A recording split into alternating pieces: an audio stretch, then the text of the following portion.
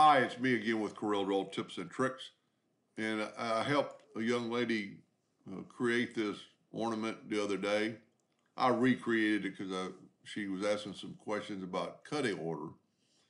How do you get the inside to cut out first and the outside to cut out last? And that's very important when you have in your laser bed. And I'm using her file. And just for you, uh, the one I'm doing it for, I change your nudge factor to zero, zero. I change your uh, duplicate distance, or your nudge distance to four, your duplicate distance to zero, zero. If you have this, let's just start out with, you're gonna take the smart fill tool and seal all the joints, then you need to go to left click, right click, and you're drawing at five hundred points where I draw in hairline, so it's make them all a hairline now. So let's take away the original. And this is all basically welded together but it's not going to cut out in any particular order.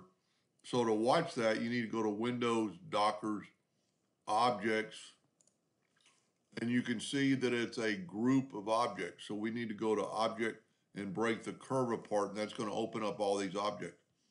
Well, if we select this outside deal and nudge it over just to make sure we got it, you can see it's right here in the middle.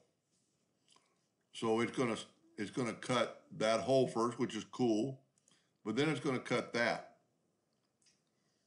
And then it's going to cut that. And, and you could create a, a, a file, but unless you're going to do a lot of these, it really won't matter.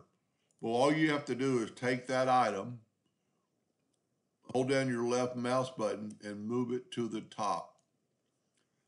Now that item is at the top. And I shouldn't really speak of this because I just know in my laser, and I would I would hope most lasers, I have an Epilog in the print driver, it's going to start from the bottom up and cut this last. So when you nudge that back over, send that job, it'll cut out the interior parts first, and then it'll cut it out. And that could be very, very important, um, especially on these little bitty ends of letters and, and little uh, stuff if your laser bed's a little bit off, it has a little bit of wobble to it, and you cut the outside first, it's going to fall, maybe even an angle, and then it's going to not cut it out as true. So that's how you do it in Object Manager is just to move stuff around. You could really go pretty far and have your, see, it's going to cut out that section first or next to last. Let's see what's next. See, it's going to move and do the middle, then it's going to do the top, so it's going to cut out all these littler parts first, which is fine.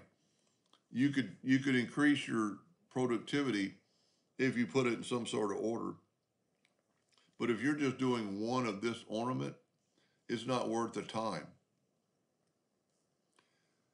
As long as that curve is the last one. I hope that helped a little bit. Thank you for watching.